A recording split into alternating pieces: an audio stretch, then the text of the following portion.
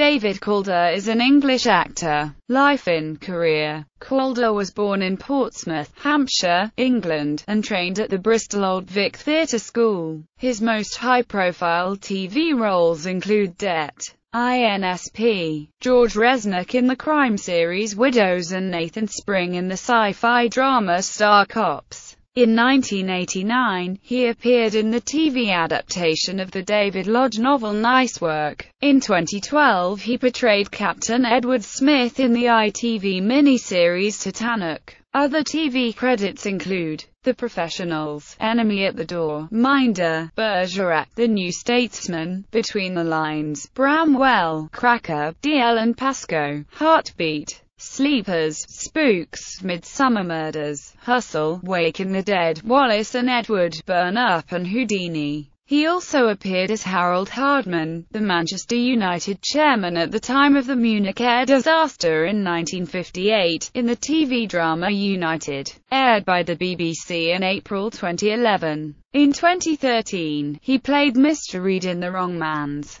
Calder appeared as Sir Robert King in the 1999 James Bond film The World Is Not Enough. His other film appearances include Moonlighting, Defense of the Realm, American Friends, Hollow Reed, Fairy Tale, A True Story, The King is Alive, Perfume, The Story of a Murderer, The Mummy, Tomb of the Dragon Emperor and Rush. In 1979, Calder appeared in a public information film as a crime prevention officer asking people to consider how they would get into their own home, if they lost their keys. The PIF, which was used to encourage people to make their homes secure, and to contact their crime prevention officer for advice, ran until at least 1985. In February 2010 Calder played Stuart Bell in the television film On Expenses.